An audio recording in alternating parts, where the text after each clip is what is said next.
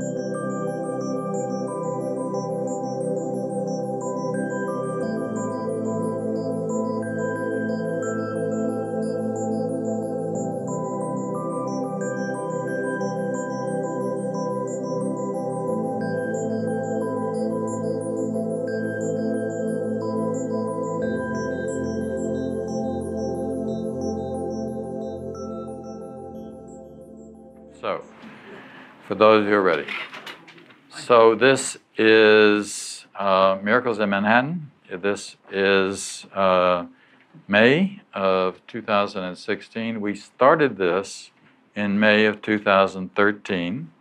Uh, the idea was to go chapter by chapter, one chapter per month through the entire Course of Miracles. We're almost done. Uh, we will be done in June. And just to let you know what's coming after that, um, in July, uh, my friend Dr. Rod Schelberg, who is uh, an MD, who is in charge of three nursing homes and a hospice center up in Maine, uh, who is a devout student of A Course in Miracles, uh, who prays with his patients, sees auras, meditates uh, uh, daily, et cetera, et cetera. Wonderful, very humble, but uh, great guy. Anyhow, he's going to be here. We're going to share the day, and we're going to be talking about eternal life. All right. Is that in June or July? That's June. No, that's July. I'm sorry. Yeah, July. Yeah, June we finished the book. July, June we finished chapter 31. All right. Uh, then in the August we're vacation time. September we're going to start a new series uh, that I'm going to call uh, Manifesting Miracle Mindedness. And I'm just going to find different topics rather than going serially through the book or anything else. And it's interesting, the September date is 9 11. Okay, it just so happens that it's 9 11, and here we are, uh, very near where the major catastrophe occurred. And um, one of the other things that I'm going to start doing is having a few more guests comes to also share with you and speak with you. And so for that day, the topic is going to be healing the terrorist within, or healing healing the error within. And Amy Torres, who uh, many of you know is a teacher here, was a teacher here in New York City.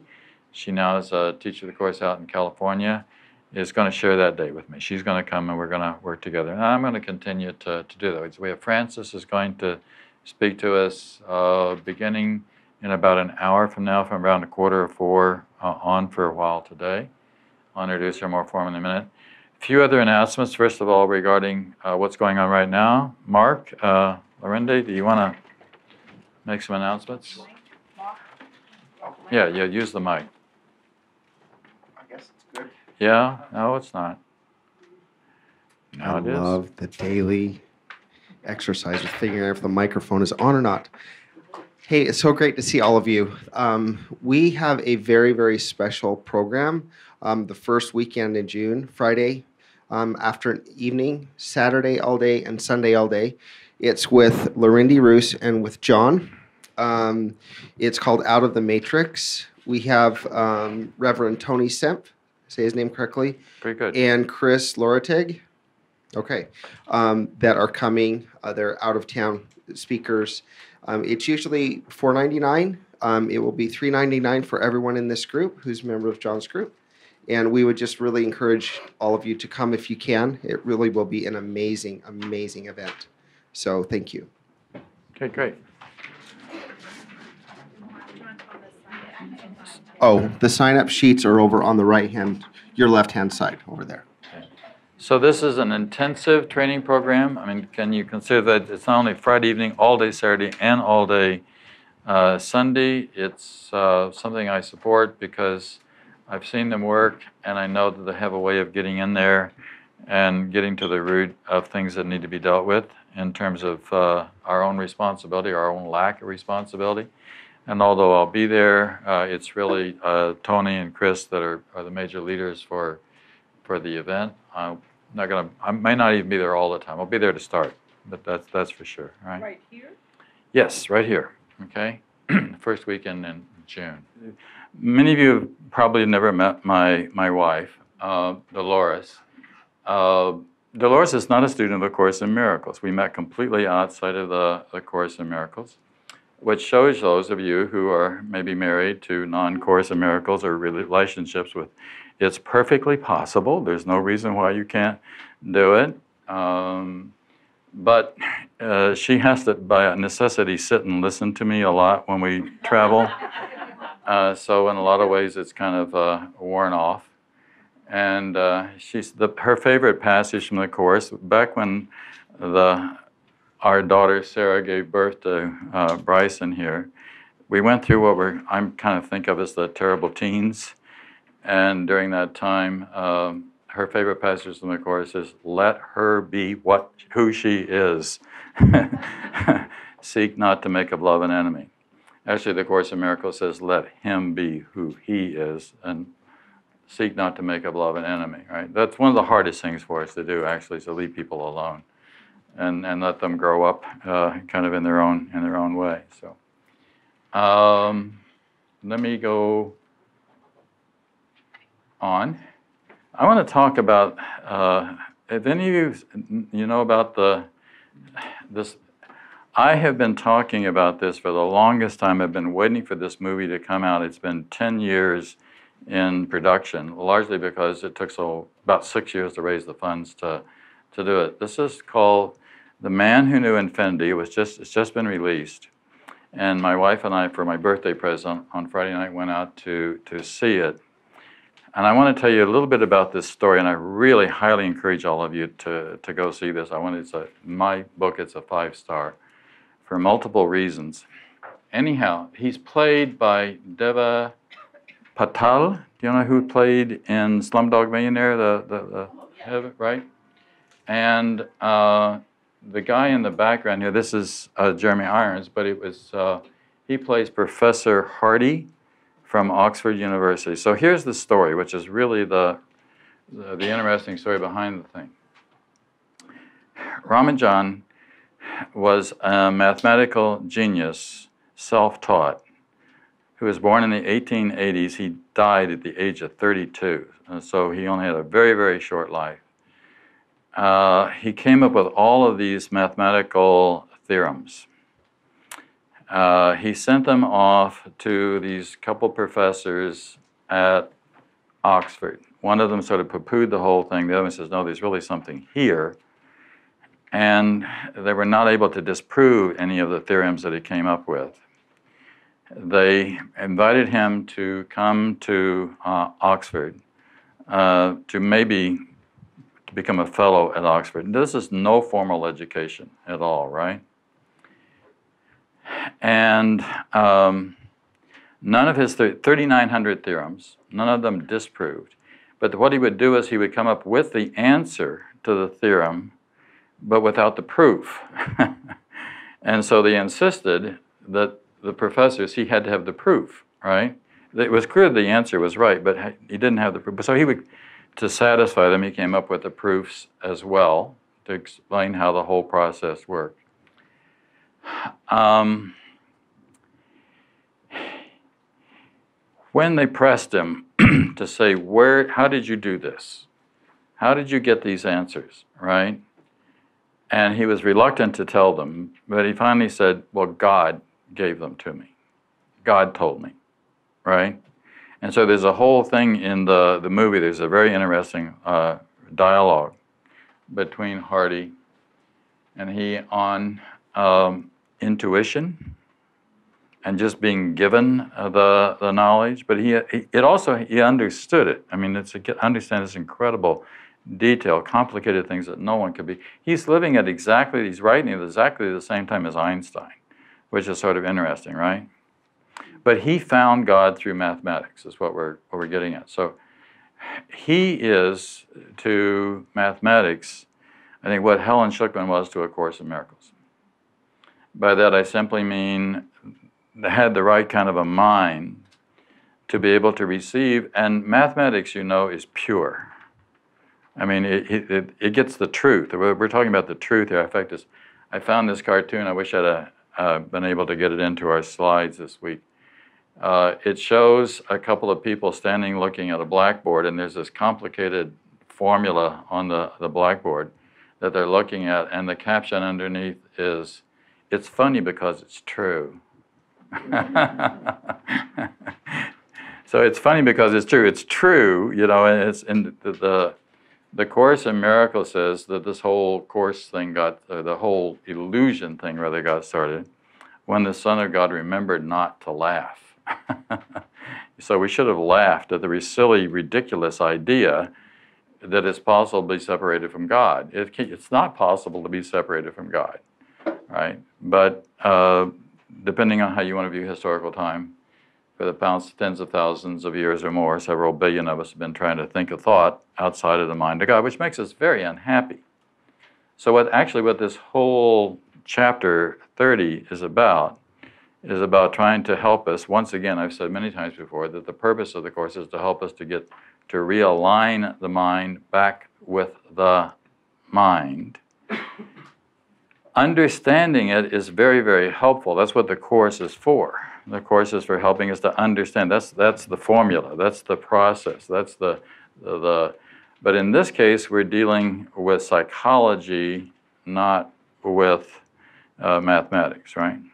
But we're understanding how the mind works. Actually, we're understanding not how it works, we're understanding what went wrong with our thinking, right? It's, it's the mind having gone wrong, having come up with the wrong formula the wrong idea. And the wrong idea again is that it's possible to be to break off. So our basic problem in that sense is the problem of, of arrogance, uh, that we think that we could uh, outdo God. You know that we could leave me alone, God. I'll I'll handle it myself. I'll figure it out for myself. And God says, "Fine, go ahead, try." you know.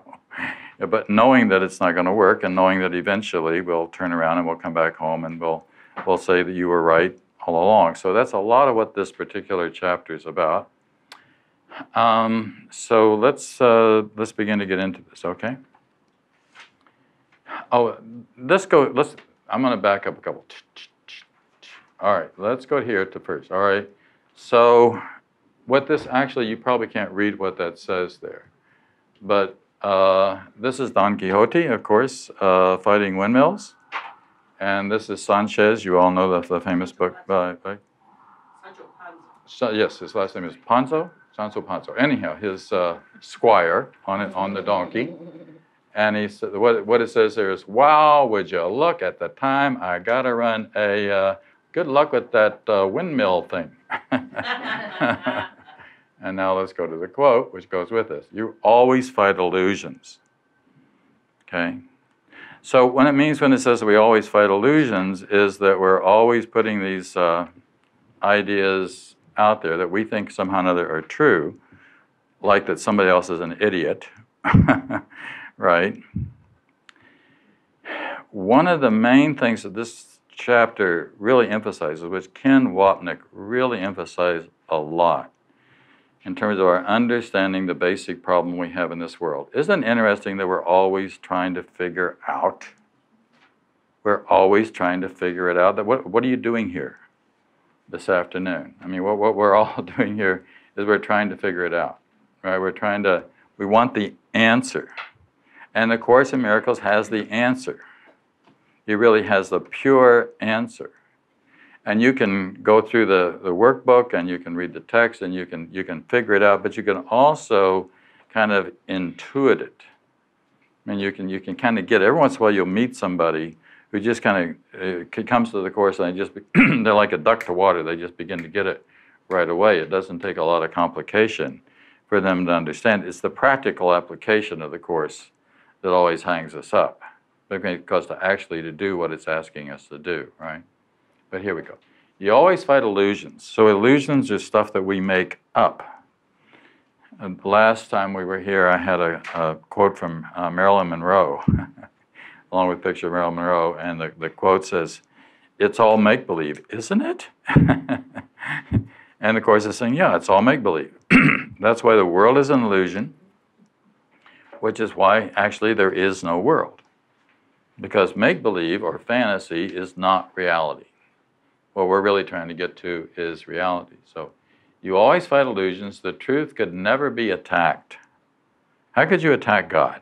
you know, that's impossible. That, that's what Jesus is doing on the cross. What Jesus is doing on the cross is he's saying, well, the body, you can kill my body. That, that's fine. But you, m- me, you can't, you can't harm. Right? What it was eternal is eternal. What is true is true. What is everlasting is everlasting. and none of that can be destroyed. Like, which is a good part of what I'm saying in the, my new book, Eternal Life and the Course of Miracles. You always fight illusions. The truth could never be attacked. And this you knew when you made idols. They were made that this might be forgotten. So there's a lot about idols in this particular chapter. So let's just talk about what an idol is. An idol is anything that's not of God. it's anything that we make more important, uh, whether that be status, uh, whether that be how we are in the community, just whatever it is, whatever it is that's out there that becomes more important. Um, I was giving a talk at a church, I won't say where, when, this was a few years ago in another state. And I was staying with the minister and her husband. So there's a, the husband was sort of uh, not participated in her church and things, but they, they were married. And at that particular juncture, he had just bought, the few days before I arrived, a $65,000 BMW uh, sports car, which was going to cost him something like $800 a month uh, for the next six years of his life. And you can imagine that sh- th- this, the lady was furious because they needed the money for other things besides, well, that's an idol right? So anything that we that we make really important to us, you got to have this, whatever this is. Now, in this case, it's a thing that we're talking about. It, may, it might not be a thing. It might be an idea, even, right? That we make into an idol that we then support with all of our, our force. Okay, let's go on. You attack but false ideas and never truthful ones. all idols are the false ideas you made to fill the gap. Now, for those of you who don't know about the gap, we talked about the gap. This is the third time, and, in chapter 28, 29, and 30, it talks about the gap. The gap is the space that we create between God and ourselves, and also between each other, so that we maintain the sense of being separate, so that we are not together, so the mind does. But there's something that's blocking our being together. It's something that blocks ourselves from being whole, from being able to see the innocence, to see the, the completion that's there. Actually, the, the truth is, the Course says, there's no difference between us. There is no separation and there's no break. But we, but we put this stuff in there. So all idols are the false ideas you made to fill the gap. So false ideas we, we put in, we fill this, this gap. That keeps me separate from you because you think differently than I do. Right? You're a Democrat or whatever it is, you know, or faith-wise we can't be together. So we, we have to put something in there to separate us. And you attack you think them you you think arose between you and what is true you think arose. There's nothing there in truth. When you get right down to it, there is nothing separating us, right? It's all one. And you attack them for the things you think they represent. What lies beyond them cannot be attacked. Let's go on. So, God created, of course, says, the only relationship that has meaning, and that is His relationship with you. This is the only relationship that has meaning. So, but we have other relationships. So let's just talk about a few of our other relationships. First of all, the relationship we have with ourselves. So, in terms of the course, the kind of question would be Do you like you? Do you get along with you? Do you complain about you? Do you bitch about you? Do you gripe about do you? Do you call yourself an idiot? Do you, uh, or, you know, how, do, how do we see ourselves? right? Can you, are you comfortable with yourself? Are you comfortable being alone, etc., right? Then there's the relationship we have, our, have with our bodies. Now we have a lot of ambig- ambiguity about this is the most, in some ways, this is a very special, special relationship we have. The one we have with our body. We hate them. We love them. They're not good enough. They're pretty. They're ugly. They're whatever they are. But, you know, we got all kinds of mixed emotions and feelings that are going on about this particular relationship, which we need to come to peace with, right? To let it to let that be what it is to him, and there's a way to be more peaceful with that. And then there's the big one. The really big one is the relationship we have with each other. Because this is really the area in which we can easily find fault. And we easily create problems. Right? So here's what the Course says we feel guilty about the fact that we reject others. We feel guilty about a lot of the things that we do in the world, but we bury our guilt. And this is Freud's great discovery. Freud that we, we, we push everything down, we repress, we deny. One of the main things that Ken talked about a lot, and by the way, you'll hear me talk about Ken a lot. okay, he was the major teacher of the course, no doubt about it, right? um, is all the stuff that we, we bury and then we don't look at. And the Course is practically begging us to be willing to look at the darkness that's inside ourselves. Because if we don't look and we don't, and we keep pushing it down and we keep burying stuff, we keep lying, we keep hiding, it makes us sick. It makes us really sick. And then the way that it comes out, it comes out. What we push down comes up. So whatever you push down is going to come up. It comes up in two ways. One way is it comes up, it comes up in attack on the world. Okay, so it comes up, it's projection. As of Course in Miracles say, projection makes perception. So then we, we find fault with the world.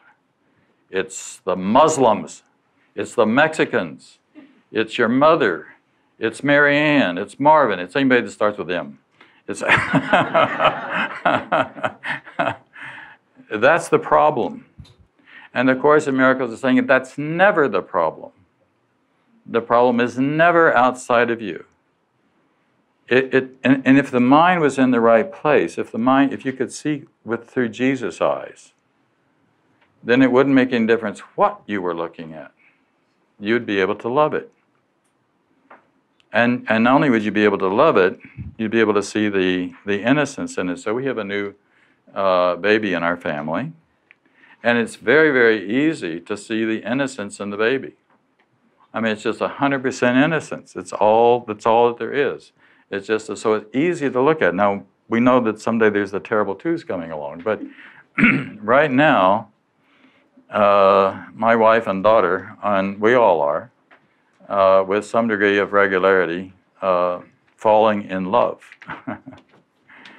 and falling in love is a really wonderful thing to do. There's, there's really, that's the high. The highest of our highs is the fall, falling in love, isn't it? Okay? So we either press it down and, that, and then comes up and we push it out onto the world, which creates all the terrible problems that we have in the the world by seeing others as being inferior, whatever it is we see out there. Or we press, or we put it onto our bodies. They come to one of the two. You either push it out into the world, or we push it into our bodies, which then creates sickness, which then creates uh, dis-ease, right? We put it one place or the other. Fact, let me read you if I can. Just one. If you were doing the Course in Miracles from day one of this year, uh, you would today be on lesson 100, I mean, yes, 135. And so let me turn to 135 here and just read you a passage. the body is in need of no defense. This cannot be too often emphasized. It will be strong and healthy if the mind does not abuse it by assigning it roles it cannot fulfill. To purposes beyond its scope and to exalted aims which it cannot accomplish. So, in terms of the course, all illness is mental illness. In terms of, um, even though it comes out and comes out in the body, but there's something else that's going on inside us then it, then it comes out this way. So we really want to stop and we really want to, the, what the Course is asking us to do is to really, really look. If you get angry, if you get upset, if you want to attack someone, if you want to attack anything, stop. look very, very, very carefully. Why is this thought? Why is this anger coming up in my mind? I have a, it's not a new CD, but there's a CD over there. Hold up, uh, word fasting. I just got a bunch of these in. This is a, a talk uh, that I did on word fasting, the miracle diet, which is really the, and this works, word fasting. The reason that it works is because it's a way to make, if you say certain words, and what I'm saying, if, if the word disgusted, upset, annoyed, irritating, whatever, we've talked about this before, but if it comes up, then it's a really good place for you to stop and to look and think, where did that come from? And why did that just come out of my mouth? Is that true? Or is this, especially when it's a, a name calling? I have found another cartoon this week, which I would should have had up here as well, where it shows a, a psychologist or psychiatrist or something uh, sitting in an office talking to a couple of uh, to a couple who are sitting on the the a couch, and he says to the couple, "You two idiots have got to stop nagging each other." so, so here, here's the psychiatrist calling the uh, the two people that are not getting along well idiots. oh, he said, "You two idiots have got to start calling each other names." That's it. You two idiots have got to stop calling each other names. it's so subtle. we just start calling names. Watch out for the name calling. That says a great deal about what's going on on a, on a deeper level, right? Okay, just to go with a few more things. The relationships we have with uh, careers and money, of course, this is a big one in terms of whether or not you feel like you're doing what you really want to be doing. Or whether do you hate what you're doing? Would you quit it if you, if you could? Or are you uh, you're forgiven? Uh, we may forgive her too. I don't know. She found another chair. Uh, or are we, are we loving what we're doing? Are we really getting into it? And uh, are we cheating with this anything here? And then the relationship we have with things. By the relationship I with the computers, uh, all the things that annoy us and that we can get angry and distracted with, or the guy with the car that I just gave the illustration of a minute ago. That's another good example. Let's go on. There is a way of living in the world that's not here, although it seems to be. You do not change appearances, though you smile more frequently, your forehead is serene, your eyes are quiet, and the one who walks the world as you do recognize their own. So there's a way. The Course is asking us to get what it calls above the battlefield. So there's a way to live in the world that's here, although there's a way of living in the world that is not here, although it seems to be. So you're you're here, but you're you're not playing the game. You're not getting caught up in the soap opera and the drama and all the stuff that's going on. You see it. You see what happens on television. You watch the news, but somebody told me that his father used to yell at the at the news, right, whatever was going on. Know, so that is, uh, but you just do it dispassionately. You don't get caught in it. Right? The new beginning has now become the focus of the curriculum. The goal is clear, but now you need specific methods for attaining it. The speed by which it can be reached depends on this one thing alone your willingness to practice every step. So now we're going to go into the, these rules one of the very first principles of the 50 miracles principles in the course, I think it's number four or five, one of the two, says you will be told very specifically what to do. Now that's interesting that it uses the phrase very specifically, right? It's not general. The guidance that is available for you, if you're willing to listen, if you're really willing, now, in order to listen, one of the main things you've got to do, of course, is to get quiet. You get quiet enough long enough to really hear, but you can't get quiet enough long enough if there's a lot of chatter going on. If there's a lot of the, going on, then obviously we're not hearing. I was, you all know that Marianne is now uh, giving lectures here in New York on Wednesday evenings, and I've been twice. I was there. Uh, Shanti and I were, went this last week, and I was really appreciative of the amount of, of uh, importance that she placed upon meditation and on prayer and getting quiet and just listening because this is so essential in being able to hear and it will be very specific right and it'll be the right thing you'll know when it's the right thing because it'll be kind it'll be gentle it'll be loving it will never ask you to do something that would be hurtful or attacking or that's why the the tape or the CD rather on word fasting is to show you all of these are words that if these are part of your thought process words you really don't want to go there because it's keeping you from being at peace. To talk about being upset. Somebody said the word, how aggravated she was, is I heard recently. It just so aggravates the hell out of me. Well, think about that. What, where, what, what, where's the aggravation coming from? You know, why, why aggravated? You know, that's stop. You gotta, you say, I'm, if it aggravates you, all right, let's go on. You must change your mind, not your behavior, and this is a matter of willingness. Again, we, we, last time we talked about this a bit. that- that you've got to be willing to do this. The course isn't easy because it takes time. You've got to be willing to do it. You've got to be willing to make. One of the things that I notice about Mary Marianne is that a lot of times when uh, folks will raise their questions and ask and ask a question, uh, one of the things that she'll very frequently do is she'll throw back is, "Are you doing the workbook? Have you done the workbook? Have you done the lessons?" Well, no, I'm getting it. Well, no, you got to do it. You got to be willing to actually do it. You know, and, and once you're willing to actually do it, make a commit, some commitment to, to carrying it through on it, then you begin to get results. But you can't get results until there's this willingness to actually go ahead and practice. Right? And I love the, I've given this quote before, but it, it's so appropriate uh, from Itzhak Perlman.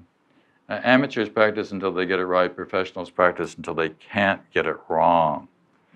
Okay, so it, it takes a lot of work, but it's not just getting it right.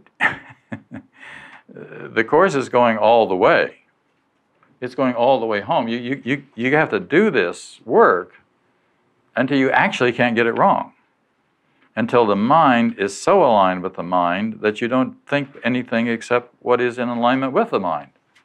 The mind being the mind of God, of course, right? That's the, this is why this is a course in mind training, and it's a complete mind training. Okay? Each one, each step, I wrote that's my word step, will help a little every time it is attempted, and together will these steps lead you from dreams of judgment to forgiving dreams and out of pain and fear. So think about for my when if I'm using these words like upset and annoyed and irritated and da da da da, whatever it is, that's a dream of fear going on. My friend that was aggravated, aggravating the hell out of me, right? Well, then that there's some fear in there, right?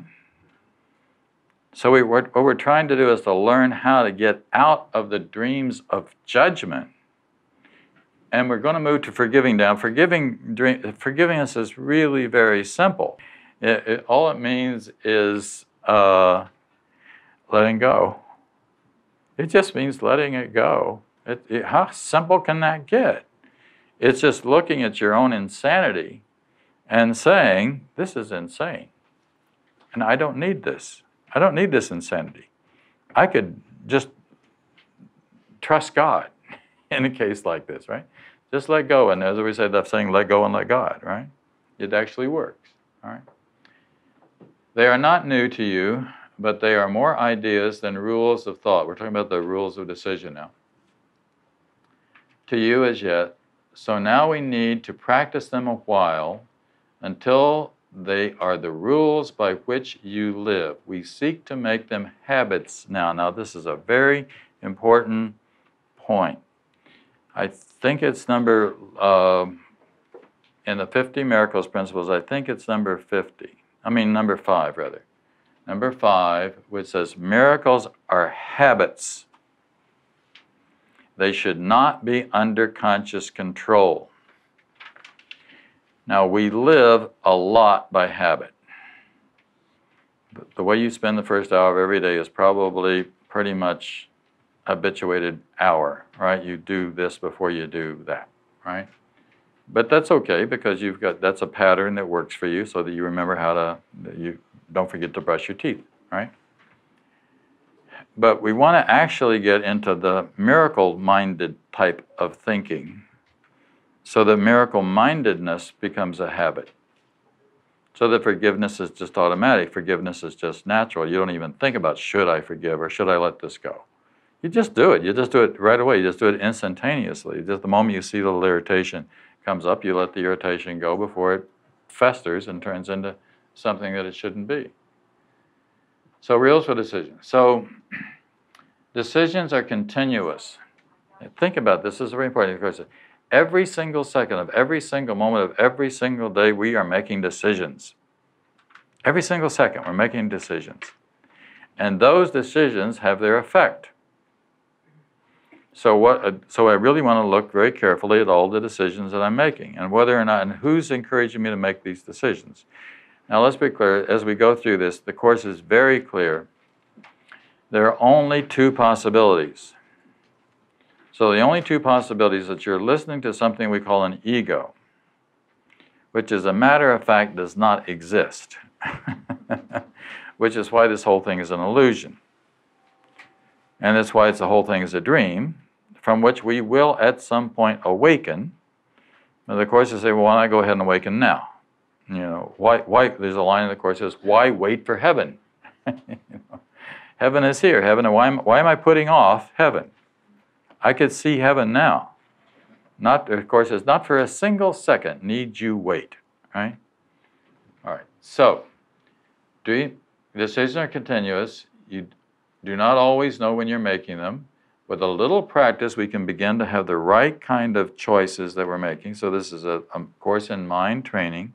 We're training the mind to go the right way. This course is what it calls wrong mindedness and right mindedness. So, we're just developing right or healthy mindedness or sane mindedness or reasonable mindedness. Those are all sort of the same things. But think about the kind of day you want. this is what uh, Yasko was talking about. This is the way we should get started every day. I hope that some of you are doing the workbook, uh, and if you haven't done it, that you will do it, and even if you've done it once or a dozen times, that you still kind of let that become, and- Marianne, I noticed, emphasized, and I would say exactly the same thing. It's uh, the first thing. The first thing, right? Before the tur- before you turn on the computer, right? Before the computer gets turned on, read the lesson for the day, and let that be there. Know, and then maybe meditate about that. Uh, have five minutes of quiet after you've read read it, or whatever it is. Then you can turn your computer on unless you turn it on to get the Course in Miracles. But but think about the day you want. Tell yourself there is a way in which this very day can happen just like that. Then try again to have the day you want. Now, this the, these lessons are going to be these five. We're going to go through these very very quickly. Actually, they're very repetitive. It's kind of like saying the same thing over and over again. The course is very repetitive. It keeps saying the same thing over and over again. Uh, in part to help us begin to get into the habit. to develop a habit, you have to keep doing the same thing over and over again. So the course is simply trying to get to, to do the same thing over and over again until we get it right. So the outlook starts with today I will make no decisions by myself. This is your major problem now. You still make up your mind and then decide to ask what you should do. Now, this is very important. because first you make up your own mind. First, you know, first we go to the ego and we get the ego's opinion. And, then- and then we go to, to, to Jesus and ask him if he will confirm that.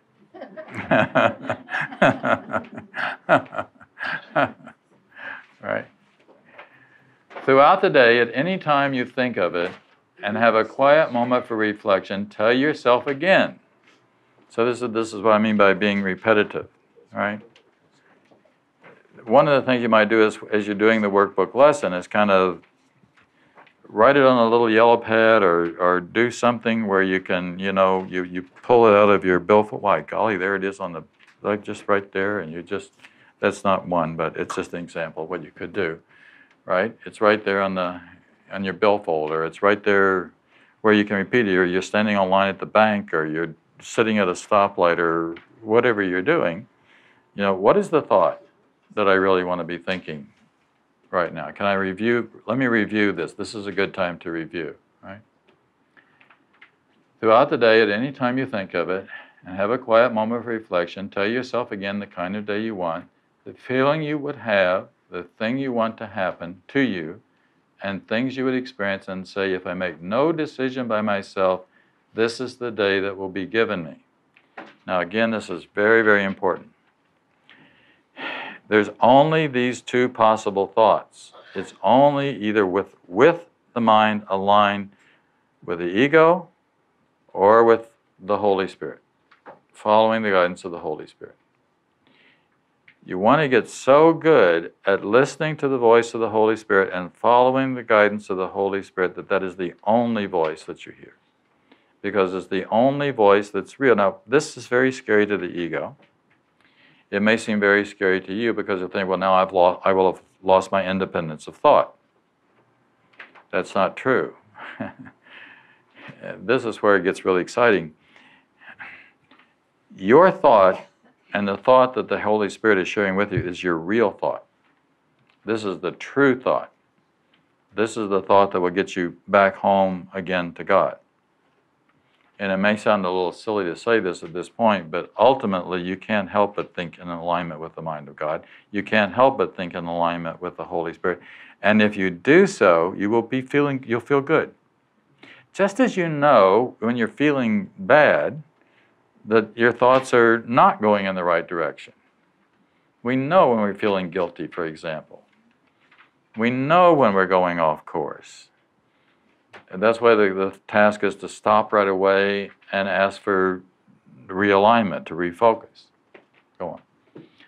So three, so this is a repetitive, I said it's repetitive. So remember once again the day you want and recognize that something has occurred that's not part of it. If you have an attack thought, let's say you have an attack thought, or you have a very judgmental thought, or projective thought, just stop. The moment you say, oh, this is a judgmental thought, this is an attacking thought. This is not. This is a not a kind thought that I am thinking about some other person. Let's say, right? Then realize that you have asked a question by yourself and must have set an answer in your terms. Then say, I have no question. I forgot what to decide. And let's go on. If you are so unwilling to receive, you cannot even let your question go. You can begin to change your mind with this. And this is very important. At least I can decide I do not like what I feel. At least I can decide that. At least I got that much. I don't like what I'm feeling right now. I don't like the thought that I've got right now, right? This much is obvious and paves the way for the next easy step. So this is similar to Bill Thetford turning to Helen Schucman in the very beginning of the course and saying there must be another way. You just recognize, I don't, I, this arguing that's going on, that, that's what he was saying, in their office, this isn't right. There's got to be another way. There's got to be a way that, my God, two psychologists at Columbia can't figure out how to get along with each other. and, and, and with the other people in the department, for that matter, as well. There's much ego games going on there as any place else. Come on, you're supposed to be people to help other people figure out and you can't get it figured out, right? So what just so we just stop. So at least I don't I can decide I don't like the way I feel now.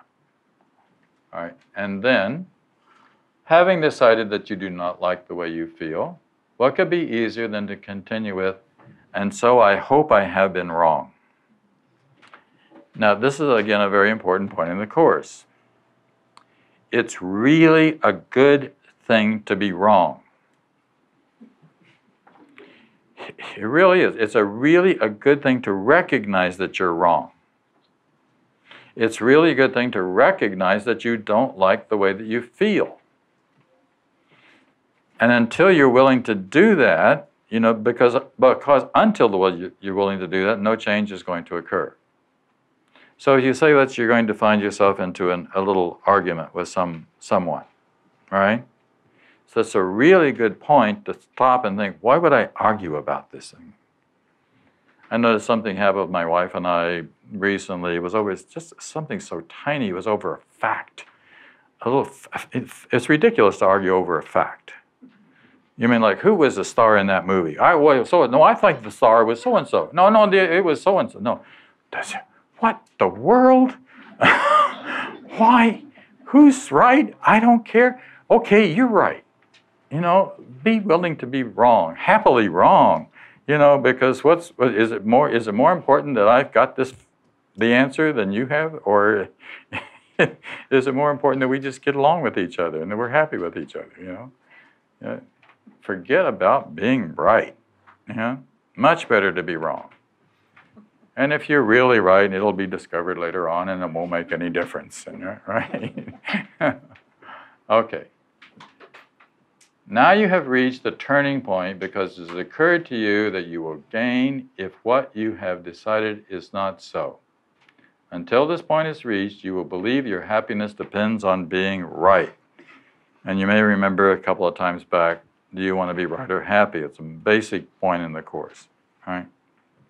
And of course, it's much better to be happy than it is to be right. That's why I say, please, uh, just let it go and be wrong. But this means reason have you now, but this much reason have you now attained. You would be better off if you were wrong.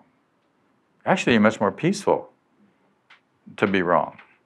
It's much better, actually, you know, let, let, let the other one be right.